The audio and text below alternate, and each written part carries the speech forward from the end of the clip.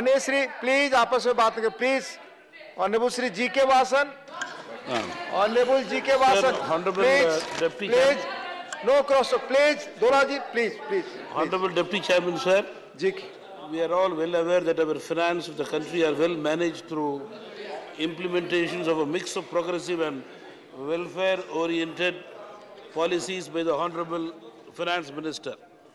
We all understand that the Indian economy is the fifth largest economy in the world, and of course, we are sure to become the third largest economy in the coming years to come. This is the result of a serious financial sector reforms and also reform sectors that contribute to the growth of economy like road, telecom, information, technology, etc.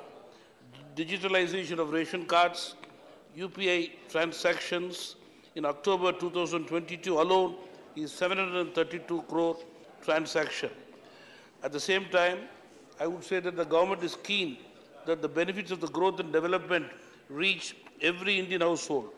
There are schemes which are meant for the benefit of the less privileged, like the supply for the benefit of the poor, which started in COVID-19 pandemic, still continues. PM Garib Kalyan Yojana, 80 crore people of the country are benefited through this. Sir, the major part of the supplementary demand amounting to rupees 4.36 lakh crore bought by the government goes towards food subsidy and towards fertilizer subsidy. India is basically a farming nation, sir. Crop insurance, bank account for farmers, doubling farming communities' income, sir, are the best care given to the farmers by the government, sir.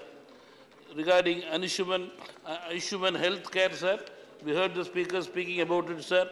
And also to say that, sir, all in- in- institutions are brought to the financial sector for accountability in the country, sir. Regarding infrastructure, sir, from 12 kilometers, today it has gone to 38 kilometers. That is the infrastructure, especially in our country, sir. Today, even developed nations are backing us. COVID vaccination, sir, when we are suffering to give to our own people, today we are giving to other countries. That is the credit of India, sir. Public sector bank sources profit of 40%, sir. Mudra loan, 80 lakh people benefited, and I would like to say here, sir, 3% NPA only. That means poor and middle class family are able to pay loan respectively, sir. Sir, to conclude, sir, even at COVID time, sir, our neighbors like Pakistan, Sri Lanka, and Bangladesh were suffering.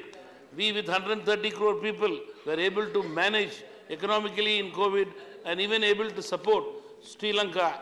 The Tamils of Sri Lanka and world over people of Tamil will never forget the central government for helping them in the crisis, sir. Sir, finally, sir, when it comes to the state of Tamil Nadu, sir, I would like to request the Honorable Finance Minister that various pending projects are there in Tamil Nadu, sir. Many projects in Tamil Nadu are helped by the central government, sir. At the same time, pending projects in Tamil Nadu should be definitely helped in various fields and should be completed, sir. Especially infrastructure projects, sir. AIIMS, sir, in Madurai is a boon for Tamil Nadu from the central government, sir. In a time-bound factor, we expect that the central government will help Tamil Nadu get AIIMS reached soon, sir. The Chennai International Airport and the Parandur Airport, sir, necessary fund to be given to Tamil Nadu for, for their speedy implementation, sir. And two more things to complete, sir. Tiruchi, Coimbatore Road, Salem, Chennai Road, Ulundurpet, Tanjavur Road are the major infrastructure there, sir. I request the Honorable Finance Minister to help Tamil Nadu grow, sir. With these words, I support. Thank you, sir. Thank you. Mani Rakesh Sinha ji. 15 minutes. सभापति महोदय मैं माननीय Honorable वित्त members, मंत्री one second, Rakesh. Uh, We will continue the House today uh, till 7 PM. So the debate uh, on the bill is over today and the response is imparted tomorrow. So we will take uh, the special mentions after the debate is over. That would require the House to sit little longer. So we will sit up to 7 PM today. Is it okay? Rakesh ji? सभापति महोदय मैं माननीय वित्त मंत्री